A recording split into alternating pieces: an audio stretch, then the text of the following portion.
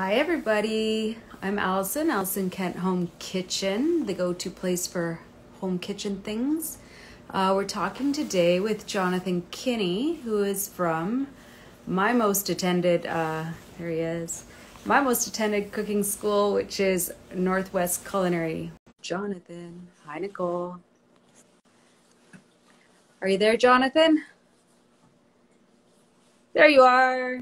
Hi. We got you.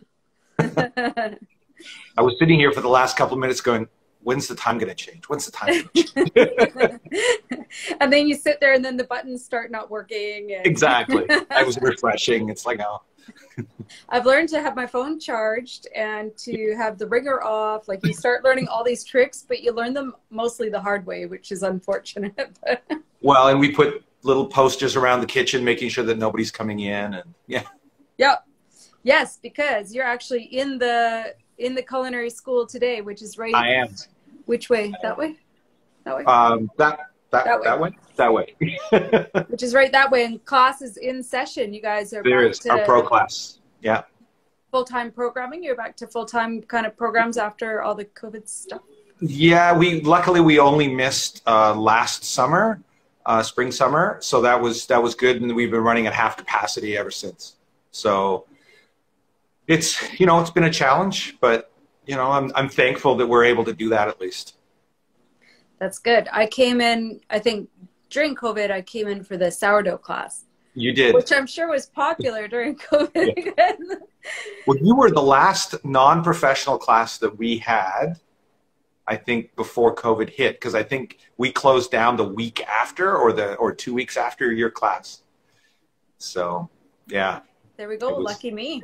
Lucky and I you. Been, I had actually been making sourdough for a couple of years, but I just find like once in a while it's handy to come in and just see in person and be able to ask those in person questions. And I know there's a lot of online cooking stuff going on these days, but it's yeah. just really hard to replace that kind of like in the moment and all the extra notes and all the extra information you get when you're there in person. So well, it's it's interesting you should say that about the online because that's kind of what we during COVID, that's what we kind of focused on is how could we try to give that kind of experience to somebody if they're not in Vancouver.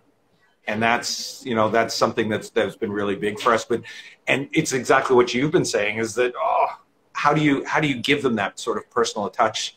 Luckily, we've been doing this for a while, so hopefully we can answer some of the questions for them well, before they know before they even know them. before they know them. Well, yeah. the school has a few kind of pretty smart cookies there. Why don't you give us like a brief a brief history of Northwest? Sure. So Northwest, uh, we started teaching in 2004. There were two uh, instructors who taught at Dubrulle, which people may know. With Dubrulle became the Art Institute, which became LaSalle College. I went to Dubrulle. But, did you? Yeah. So you did some evening courses at Dubrulle, or did you? Yeah. Yeah. yeah just the yeah. ones. Yeah. So uh, when AI took over Dubrulle, um, both the instructors, Tony and Christoph, they they left. They moved on, and Tony was driving down Main Street in Vancouver, and he saw this storefront, and he fell in love right then and there. And within four months, they were running their first class. Oh, wow. uh, yeah. It, I mean, he he became best friends with the city planning department. Um, so yeah, and, and we've been running pro classes and non-professional classes uh, ever since. Uh, we so we're we're literally have taught thousands of students uh, out of this location, and uh, it's been it's been amazing. I I have came here as a student. Actually, I changed careers. I came here as a student in 2008. Uh, worked in the industry for a while, and and always came back and and helped uh, Tony with the evening classes, and then had a chance to come back full time in 2014, and haven't haven't left. So, yeah. and they just never got rid of you. You're they just. I, I, I, always joke that there's a hammock for me in the in the storage room because I just you know I never left. Well, you were there the very first class I took, which was back then, and I like your term for the non-pros. Uh, I think you call them enthusiasts, which enthusiasts, really like. yeah. They're not. Some people say the amateurs or like the home yeah. cooks or whatever. No. But I think last time I was talking to you, so the first course I took was the you used to have an eight-week, one one night a week for eight week yeah. kind of program. Yeah. Which was called the basics. I think you still Yes. have the basics. It's just We've, we've changed the formatting a little bit, but yeah, we, we still have the basics. It's it's our core. It's our foundation course we call it. So yeah.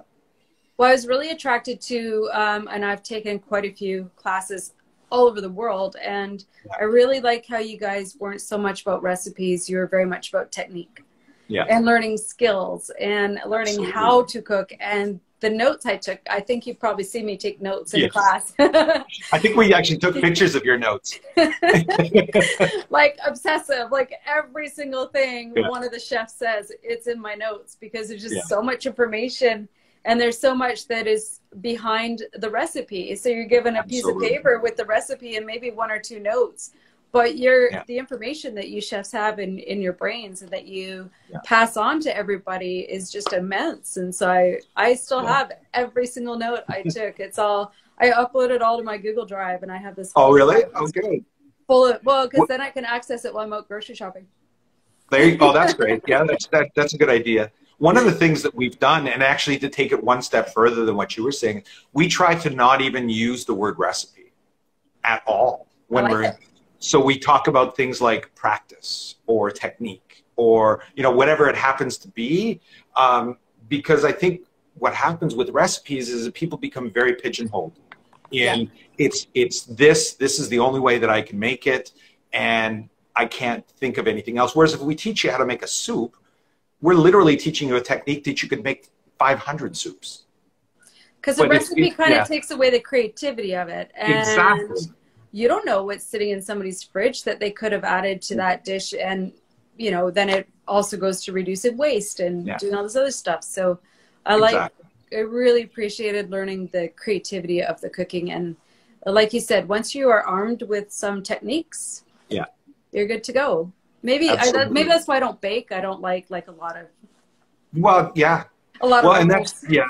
But even then, you know, even then, I think using the term, you know, methodology or whatever, I think it's still there's just this thing, even in pastry, where if you said recipe, people just feel very uh, constrained, and it's and so we we you know we do whatever we can to break molds. Um, no pun intended. I Um, refer but to yeah. like ratios sometimes. So like even Exactly. a sauce will start with a ratio. Yeah. But in that ratio of like uh, fat to some kind of To- flour substance Yeah. in your roux, it could be anything. You sugar, yeah, really yeah. Go nuts with it. So I like. I know that there Absolutely. are some ratios that you need to pay attention to, or the Absolutely. science and the chemistry of cooking isn't Yeah. going to quite fly. But Well, and that's yeah, and science is. You just said science. Science is super important, uh, and it is. It's like if you're gonna. It's the reason why you need to make a roux, and you can't just throw your flour into your soup or your or your stock or or your stew or whatever. So you know there is some core science that you always need to do, but it's you know the recipe is not it. It's the science. So yeah. I like it. I dropped in, I think shortly after that, my cousin was taking one of your big time programs, and I uh, Yeah. got to drop in for a couple weeks, which was like my happy place. and once again, I'm back at the front of the class, and all these people are Yeah. looking at me going, Who is this person? she just showed up. I don't know. she just showed up. And she's like sitting in the front. Nobody else is sitting at the front. I'm like, Whatever. I want to see. I was like, I don't care. I'm sitting at the front. exactly. But Exactly. it was, um, I really learned a lot during that one, and I, and I would like to come and take more of that one. I'll sub in for somebody else's weeks one day, but um, Yeah. I really enjoyed learning kind of more the sustainability of cooking and the head to toe. And and you said you guys have taken it even further, which I'm sure you'll tell us about. Um, Yeah. But just the the fact that we would take um, a protein, an animal, and we Yeah. would use learn how to use every single like literally head to tail of every single bit of that animal and i i love that it's super sustainable and a good practice to learn especially in the kitchen Well, and, and we even take, you know, when you're doing uh, a salmon, we, we've we've got this diagram that we've drawn that we're going to be we, we're actually be putting out. A, talk a little bit about it later. We're going to be doing a, uh, a textbook, uh, but we have this drawing where we literally break down a salmon with different dishes coming off the different pieces of the salmon. And you know we and you could do everything. And you you mentioned things that we're doing. We actually have a sort of a recycling reclamation project where we dehydrate things that would normally go in compost and make powders out of it that we can use to flavor dishes moving on. So we do, you know, we do that with salmon skin and and all different kinds of things that that will continue to use as much of a product as possible because you know in a lot of ways it's it's financially it makes sense but also you're honoring the animal as well. So. Well now my head is a buzz with like dehydrated salmon skin salt salmon skin salt or something which exactly. is amazing sprinkled on a yeah fish soup Absolutely. or something like that and it, and it looks beautiful as well because you could put it on a nice creamy chowder and it has that you know the, the, the bit of a you know that silvery gray yeah, yeah. a little bit of that yeah. iridescence in it oh exactly. i like it well even when i um when i do a big cook at home and sometimes i'm cooking for many many people so if i know i'm going to yeah. go through a lot of food not now obviously but pre-covid yeah. um, I will actually plan to be making my stock next and to be making this and that and yeah. the other. And I will have like my my next recipes or like you said the extra recipes that are coming yes. off the other pieces of the food i will be prepared for all that because i'll just buy two extra carrots or i'll buy like you know yeah. whatever well we always we always love to tell people you know just keep a bag in your freezer that's got all your extra carrot ends or celery ends or onion ends that you can always use to make a stock sometime in the future. I do that a lot with my uh, seafood shells. Yeah. So we'll go yeah. through our raw oyster fits and I just have tons of bags of oyster shells and then the clam shells and the yeah. crab shells, everything. And then by the end of summer, by like mid September, I am making the best seafood stock you've ever had. Absolutely. Same I finally bought a pressure canner. Oh, did you? Yep. Oh. Except I bought oh. it during COVID and it took like six months to get here. Oh, no. Because it's you and everybody else, right? so full, I couldn't fit anything more in my freezer. And I have three freezers, and I just couldn't fit anything more in it. I'm like, I've got to start canning this stuff. I can't sustain this. oh man! So six months. Oh my goodness. Yeah. yeah. We've been really fortunate with the stuff that we've had to buy for the school that we haven't had too long a wait, but I, I can only imagine the, the you know the uptick in, in people buying even even just simple things like Instapots. I'm quite sure that it was taking forever for people to get them.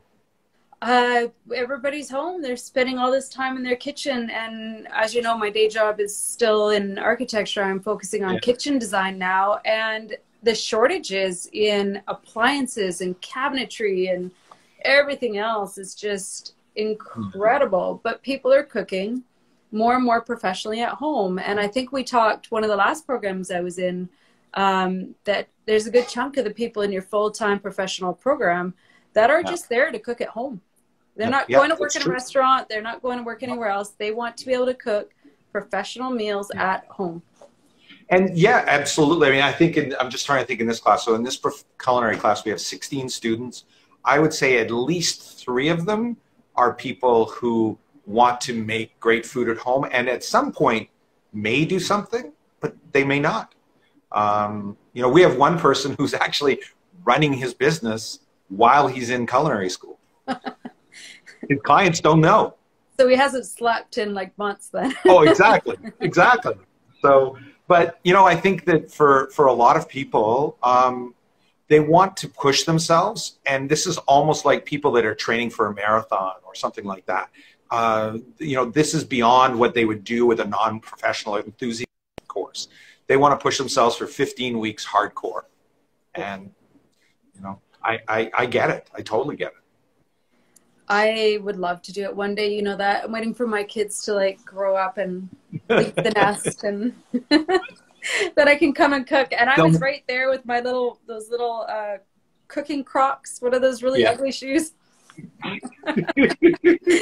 yes. I had it all there. You're like, oh, this person's so keen.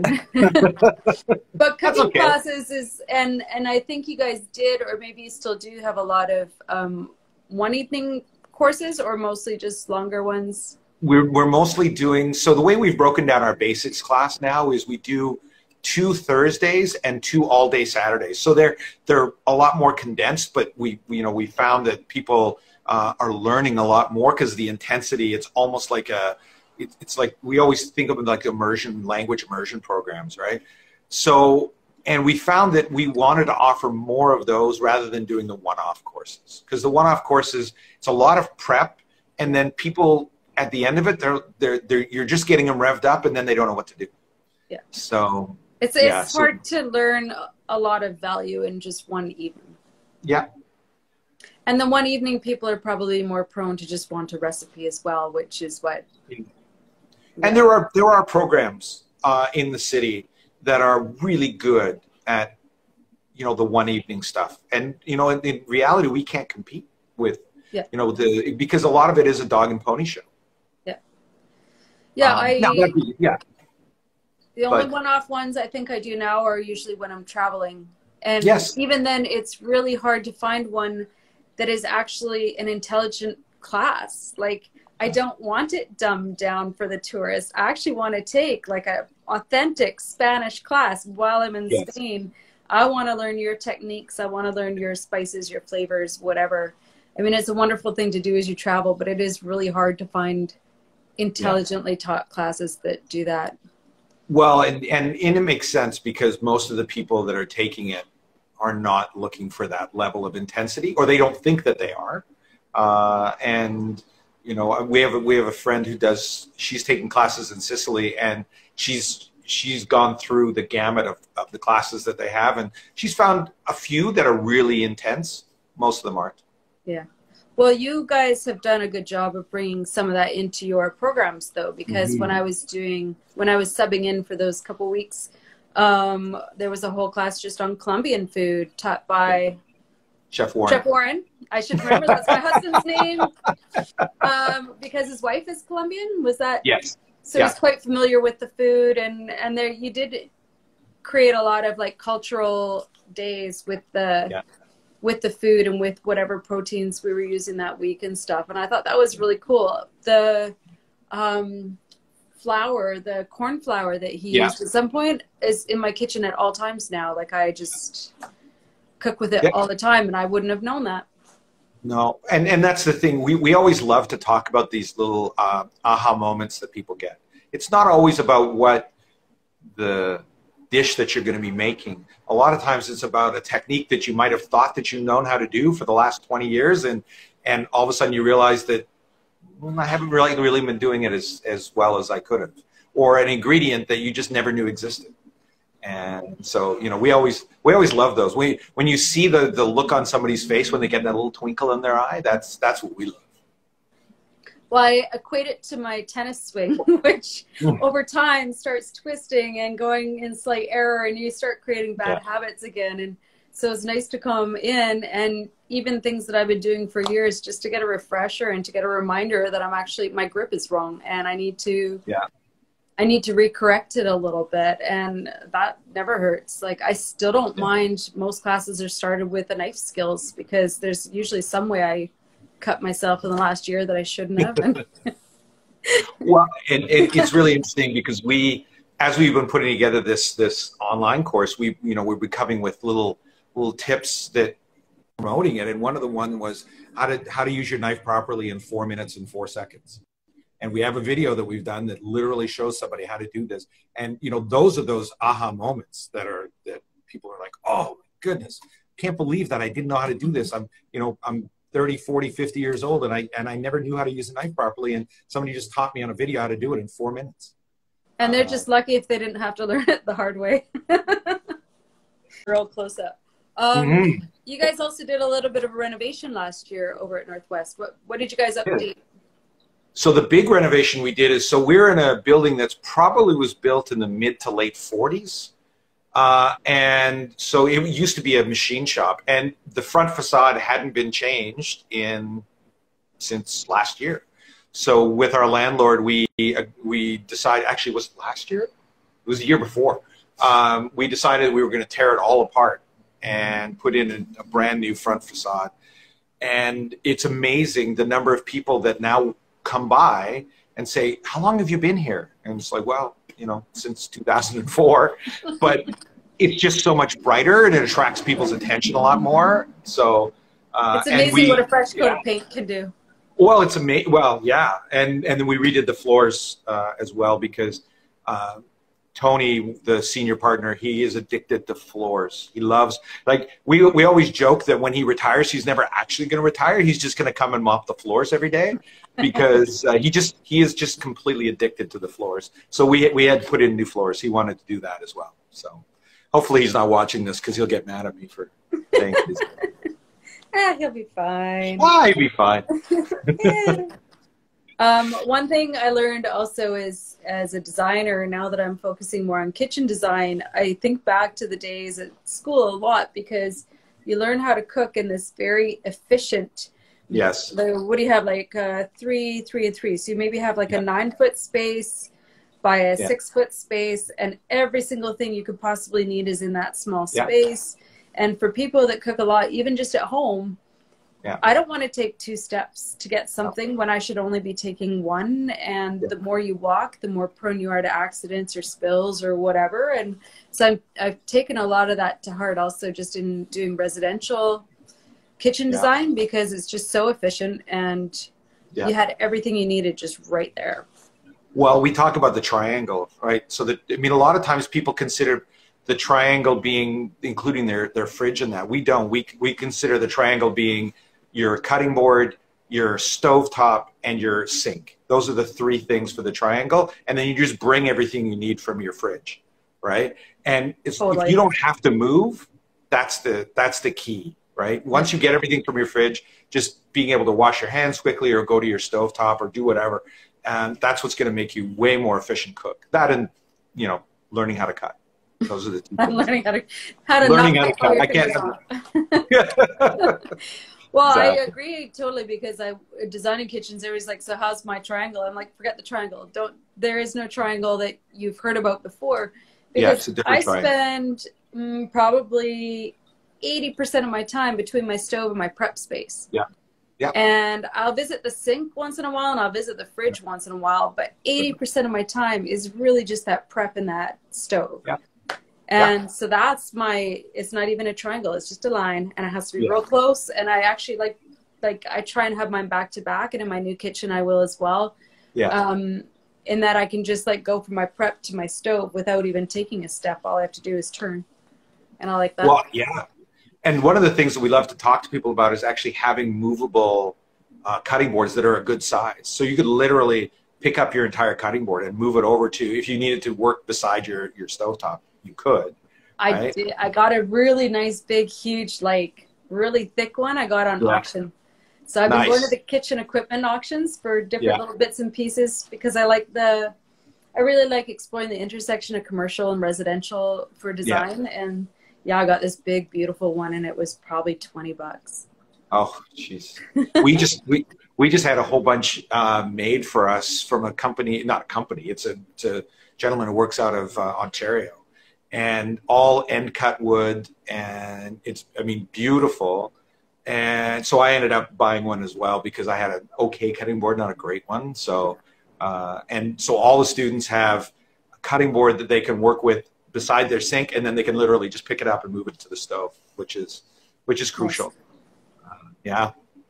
Nice. Well, I feel like we could talk forever on uh, all things food and cooking. We should probably chat again.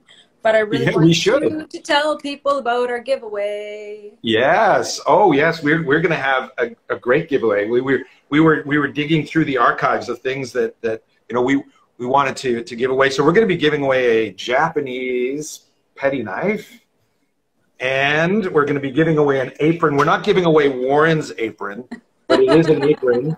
But we will get it. We, we will get it with your name on it. So that's and, I don't and even our, have an apron with my name on it yet. I know you can't enter. You're excluded from this draw. and one of our notebooks. It's a reusable notebook, so it's got erasable ink with a little piece of software that you can actually take pictures and download it, and you can up, you could have uploaded that to Google Drive. Um, For and we'll note takers. Yeah, and we'll also give uh, 10% off to any of our enthusiast classes. So, uh, in to, to somebody that wants to, to, to take to uh, to take one of those classes, they will get that included in their prize pack as well. So we're going to put that up. Um, I guess right after we, we right after we do this. Um, right after so, we do this, we are going to get yeah. up on both of our Instagrams. I think. Yes. I'll, I'll work with Lena beside you there on it. And Yes. um, in the meantime, where can people find Northwest Culinary Academy? Okay, so you can find us on Instagram if you already found us here at NWCAV Chefs. On the website, you can go to www.nwcav.com.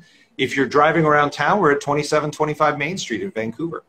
So Main and 10th, 11th. between yeah, No. between 10th and 11th. I had to take the bus every day because it was a lot of parking. Yeah, so that's the one down. The, the great thing is, is that we're close to transit. The downside is, is Very that there's lots of metered parking. very close, and actually about to be very close to a new SkyTrain station. They're literally tearing down buildings two blocks away from us. So, Yeah. which So which means that we, yeah, we we uh, it's going to be very exciting. We're we're looking forward for our students. It'll be incredibly uh, incredibly valuable. So, I like it. Well, thank you so much for joining me today. has it And, been half an um, hour already? That's that's amazing. Pretty much is. I know, doesn't it fly? um, it actually does fly. So we should definitely chat again. We should chat again should. when you guys are launching all your uh, programs in the fall or something. Or That would be amazing. I'd love to. if you ever want to sit and go through one of my favorite recipes from the classes, we could do that one day. Whatever we want. One of your favorite practices, not your recipe. One of my favorite practices. Um, one that has been in my photos that I have made ever since that first basics program, and I do. I, I make it all different kinds of ways, but it was Yeah. the salmon rillette. Yes. I have made that Yeah. so many different ways, but just the learning the technique, like you said, the Yeah. poaching of the salmon, the um, combining it with your reduced wine and everything else, and it was just like I've used it so many times, and now I can can it, so I've been canning it. Oh, there. That's that's that's amazing. Usually, it's really funny because that's one of. There's usually three dishes that people say. There's the rillette. There's the chicken saltimbocca that a lot of times people say, "Oh, I do that all the I time." make that all the time. and then the other one is the uh, spaghetti aglio olio. So it's uh, that people a a lot of times say that they do that. So yeah. I think the first time, the first thing I'm gonna make when my kitchen's done is fresh pasta. Once again, I really miss making fresh pasta. So, yeah, I have some favorites. We could we could teach the interweb peeps how to make something. I'm sure Absolutely. That would be that would be amazing. I'd love to come on again. it'd be fun. Okay, thank you. Let's get that uh, giveaway up and going. Absolutely, we'll do that. You take Thank care. you. Bye. Bye bye.